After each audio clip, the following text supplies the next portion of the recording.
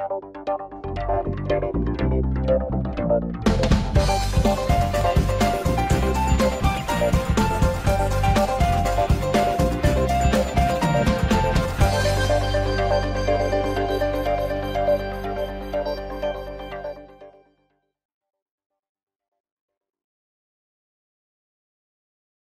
traders, it's John Fortune here with this week's weekly Forex forecast for the 19th of March to the 23rd of March 2018.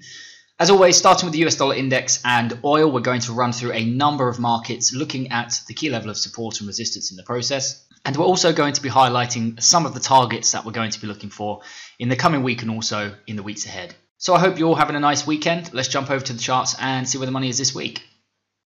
Starting with the US dollar index, you can see last week we actually started the week above the key area of support over here. And we were looking for a pullback into this area. You can see we did actually have a pullback into this area and a slight push to the upside as well. Now, two important things to note about the US dollar going into next week. One is that, as you can see, pretty much all the way back here, pretty much towards the 20th of February. You can see February, 20th of February we've pretty much just been going sideways. I mean, the US dollar hasn't really gone anywhere. Uh, we've been kind of ranging. We tried to break out over here, but we ended up falling all the way back down. Uh, and so it's actually been fairly tough conditions for the last few weeks, but we do know that ranges like this don't last forever.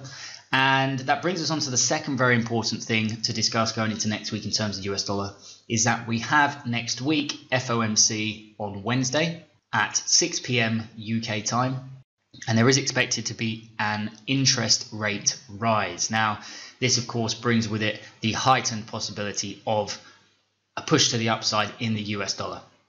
So just bear those in mind, and we'll reference back to that as well uh, as we go through them. But it's something important. I mean, certainly if you trade on lower time frames, uh, trading tight stops around Wednesday evening, six o'clock is going to be uh, asking for trouble, in my opinion but we'll, we'll reference those again, as I said, as we go through. In terms of the actual technicals of the US dollar index, you can see we did get a pullback and we started to push up towards the next of resistance to the upside. So very simply put, we start the week again above the key area of broken resistance over here, turning support, turning support, turning support, almost in this area coming down. Don't forget these are, you can put a buffer zone around these. And so very simply, we're just looking for another correction going into this week. And any pullback in this area is going to be a great chance to start to look for bullish formations and patterns. And we're going to be looking at initiating longs in the US dollar index. If we decide to trade the US dollar index, sometimes we do, sometimes we don't. But if we do, we're going to be looking at initiating longs up towards the target next key area resistance at the 91.02. Next, we have crude oil. Now, last week we started the week just pushing into the key area of broken support and resistance in this area. And we said what we wanted to see was a break higher, okay, because we started the week up in this area above the key area of support and resistance. So we were looking further advanced the upside in oil. However, we cautioned against the fact that this could be a deeper test of the resistance. And what we wanted to see was a further break up, okay, some accumulation and then a move like this. And as you can see, in fact, it did just turn into a bit of a deeper test. Now, oil is another example of a market here, similar to uh, quite a lot of the markets actually over the last two weeks. You can see really hasn't really gone anywhere at all since uh, back here at the end of February.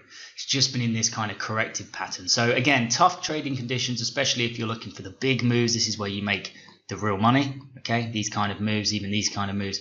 So a little bit of tough trading conditions, but we do ultimately start the week back above this key area of broken support and resistance. In this case, broken as resistance.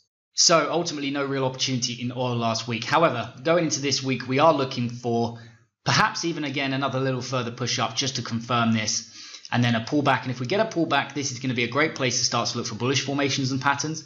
And a pullback and a retest of broken resistance turning support in this area will be a great place to start to look to initiate longs up towards the next key area of resistance to the upside at the 63.87. Now we do have a slightly longer term target up here as well. If we can get a break through this key area of resistance, we will of course be looking up towards target 2. But this may take uh, a number of weeks, just bear that in mind. So the first pair we're going to look at is euro dollar. Now last week we started the week underneath this broken area of broken support, turning as resistance once, twice, and in fact you can see it failed to hold as resistance and we ended up breaking through.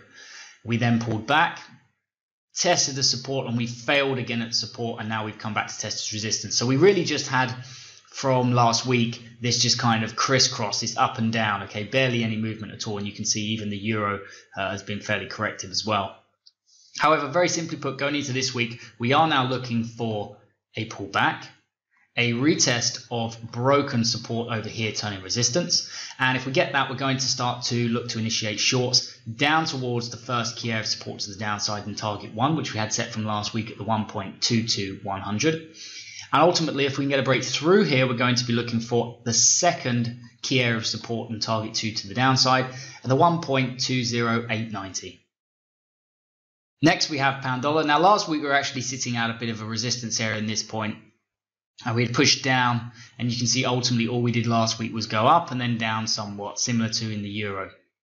So again, not a huge amount of movement, uh, certainly not in the overall direction. As you can see, we're looking at this as a big continuation pattern to the downside, known as a bear flag.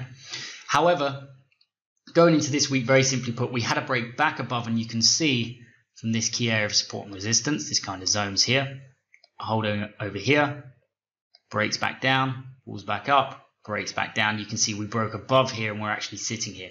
So very simply put, going into next week, this is a great place to technically start to look for bullish formations and patterns. And if we get those bullish formations and patterns in this area, that's going to be a great opportunity to start to look to go long and take long positions up towards the next key area of resistance, the upside and target one the 1.4066. But just bear in mind that we do have that interest rate decision coming out of the US next week, which does heighten the risk of US dollar strength. And therefore, this support area here could come under pressure and could even fail uh, off the back of that interest rate decision. So just bear that in mind if you are looking at trading pound dollar next week, that we do have the FOMC coming out at 6 o'clock. Next, we have US dollar Japanese yen. Now, last week we started the week up in this area and we were just looking for a pullback down towards this key area of broken resistance tone support. And you can see we did pull back into here, but we actually broke through and pulled back and we pretty much ended the week around this area. Now, going into next week, very simply put, we are looking for further declines potentially in the US dollar yen because we start the week below this key area of broken support turning resistance. And we're right at that area now where it was a good place technically to start to look for bearish formations and patterns. And if we get those bearish formations and patterns, we're going to start to look down towards the first key area of support to the downside and target 1 at the 105.183. And if we get a break through here, we're going to be looking down towards target 2 and the next key area of support to the downside at the 104.331.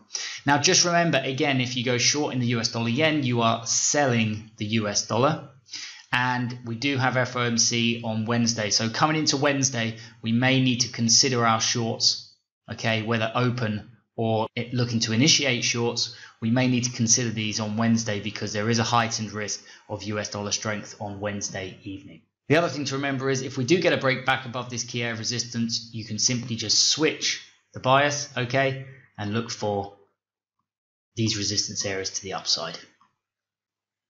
Next, we have Aussie dollar. Now, last week we started the week above broken resistance turning support, and we were looking for moves up towards the next key area resistance to the upside at 0.79145. And as you can see, we actually tagged this level and we just rolled over as soon as we hit here, took out the first target to the upside from last week. We just rolled over. We came all the way back down below this key area of support. Okay, tried to hold a support and failed. So very simply put, going into next week, we are looking for a pullback, a retest of broken support turning resistance. And if we get this price action, this is going to be a great place to start to look for bearish formations and patterns. And if we start to get those bearish formations and patterns in this area, it's going to be, as I said, a great place to start to look for shorts down towards the next key area of support and target one to the downside at 0.76973. And ultimately, if we can get a break through here, we're going to be looking down towards the next key area of support and target two at the 0.76341. Next, we have New Zealand dollar. Now, last week we started the week just at this key area of broken support over here, turning resistance. And we're looking for further declines, but in fact, we ended up crossing and this failed to hold as resistance. Okay, pushed up, pulled back, tested as support, came up, and it was the second resistance area to the upside, not where we started the week here. You can see where we had this capitulation and this big sell off to the downside. We are approaching the first target here set from last week at the 0.71876 but you can see we've got this big extended move down. So ideally what we'd like to see going into next week is a pullback and a correction into this area possibly even a pullback and a retest of broken support over here turning resistance but a pullback anywhere in this area would be good. And that's going to allow us to get a nice risk to reward so we can start to look for bearish formations and patterns. And if we get those bearish formations and patterns we're going to start to look to initiate shorts down towards the first target and the next key area of support to the downside from last week at 0.71876 and if we can get a break through here we're going to be looking down towards target 2 and the next key area of support to the downside at the 0.71343 next we have US dollar franc now, last week we started the week above this Kia broken resistance, so we're looking for it to turn support, and you can see the US dollar franc is a great example of how a lot of the markets went nowhere last week. You can see pulled back, tested the level, broke through, tested as resistance, came down, pulled back as resistance, came down, failed as resistance, came down, tested the support. So we pretty much started the week here, pretty much ended the week here after just kind of going down and up. Now, very simply put, going into this week, we are looking for further advances in the US dollar. And so what we'd be looking for is you can see we just missed the target from last week. We're just very simply similar to how we started last week, looking for a pullback, a retest of broken support and resistance. Okay, support over here, broken, resistance, resistance, and then support. If we can get a retest, this is going to be a great place to start to look for bullish formations and patterns. And we're going to be looking first of all up towards the first target, which is fairly close at a 0.95511. But ultimately, if we can get a break through here, which is what we're going to be looking for, then we're going to be looking up towards the next key of resistance and target 2 to the upside at the 0.96602. Next, we have US dollar CAD. Now, last week we started the week pulling back down towards this. We broke this key area of resistance over here and we were looking for a pullback, preferably a retest of broken resistance turning support. But you can see we did get a pullback. We didn't quite come all the way back down to retest this broken resistance area. However, we did start to get a strong push to the upside and we actually took out the first target from last week, which was here. And we actually started to make our way up towards the next key area of resistance up here. So very simply put, going into this week, we're looking for a pullback a retest in this area of broken resistance turning support and this is going to be a great place to start to look for bullish formations and patterns. And if we get those bullish formations and patterns this is going to be a great place to start to look to initiate longs up towards the first target and the next key area of resistance to the upside at the 1.31709 and ultimately if we can get a break through here just as we got a break through here we're going to be looking up towards target 2 and the next key area of resistance to the upside at the 1.32276 and finally, we have gold. Now, last week we started the week in this area and we were looking for a pullback and a retest of broken, as you can see over here, support broken, turning resistance. And we did, in fact, get this price action. It was fairly nice price action in terms of this resistance area here. And we did sell off from this area as well, coming down close towards the first target from last week. But even in gold, as you can see, even with this break, this retest, we still really failed to go anywhere. I mean, gold is another market which has been fairly choppy and fairly rangy as well. So very simply put, going into next week, we are still looking for further declines down towards the target of the 1307.25. If we get a pullback anywhere into this area, possibly even a retest of the resistance, but anywhere into this area, this is going to provide a great place to look for shorts. Again, down towards the target which we're approaching from last week and the first key area of support to the downside at the 1307.25. And ultimately looking for a break through here down towards the next key area of support to the downside at the 1299.36. So that is it from me for this week, guys.